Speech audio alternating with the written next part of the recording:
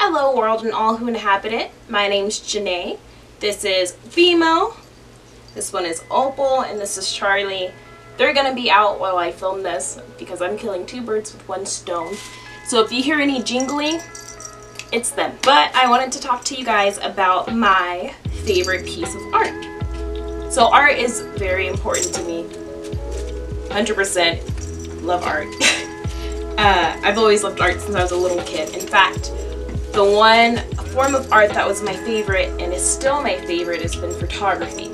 I got into photography when I was in about second grade. My mom used to, she, my mom's one of the most stylish people I know. I love her. She always would just dress up and look super pretty and she would get like her little flip phone and be like, Janae, can you take a picture of me? And I'd be like, of course, mom. And I'd take a picture and show it to her and she'd be like, ooh, I look good. This picture's so great and just hearing the compliments made me like photography even more because I was like, wow, I have the like power to make people feel amazing. Whoa!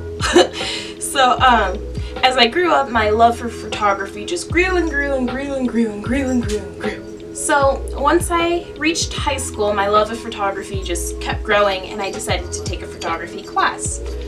Um, my second year, no, let me give you some more context. In my first photography class, we learned how to use a film camera instead of a digital camera. So I started developing this mindset of Photoshop is stupid. If you're a real photographer, you know how to manipulate the camera to capture exactly what you want. You don't need Photoshop. I still kind of have that mindset. It'll make sense in a minute. Um, as the years kept going and I got better and better at photography, I've like shot weddings, I've shot events, I've done nature, architecture, dogs, ferrets, all the animals, reptiles, like all sorts of different things. Like you name it, I've probably taken a picture of it, except for like a cow. Regardless, I have a lot of experience with photography. So as I got more involved in learning how photography works and the history, I became less and less and less and less and less impressed with photographers. So I remember my second year photography class, I had to do this assignment based on where I had to find my favorite photographer and talk about my favorite picture that they've ever taken. And so I was doing this project and I was going through and looking at pictures and I'm like, ah, Ansel Adams, whatever, I could take this. Just send me to this location, I can take this exact picture. I was very cocky, I'm not even gonna lie.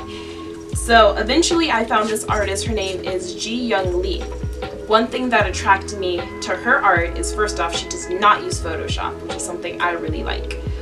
Secondly, everything you see in her picture, she's created by hand. So she does a lot of cool props and has these amazing, intricate um, backgrounds. And she does all of them by hand. I mean, she paints them, she doesn't have anyone help her, nothing. All of it she does herself by hand. She's amazing. And I found this photograph that she did and I don't remember it's what it's called. I want to say it's called The New Beginning or something like that or The Rebirth, Reborn, something along those lines. And it's a picture of her in a lotus flower.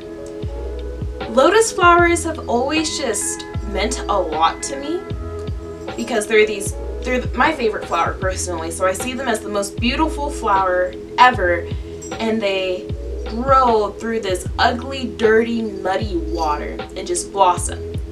And I've always been like, if a lotus flower can overcome, like, can bust through this mud and dirt, then I can overcome anything, right? So in the picture, it's her in a lotus flower and she's being reborn because they also represent new birth. And that picture, there's just something in it that resonated in me and I just love it. It's till this day my favorite photograph. It's just a beautiful piece and it's something I love and it makes me appreciate photography a lot more every time I look at it. It kind of puts me back in my place and is like, hold on hotshot, you're not that amazing. So yeah, that's my favorite picture. Thanks for watching.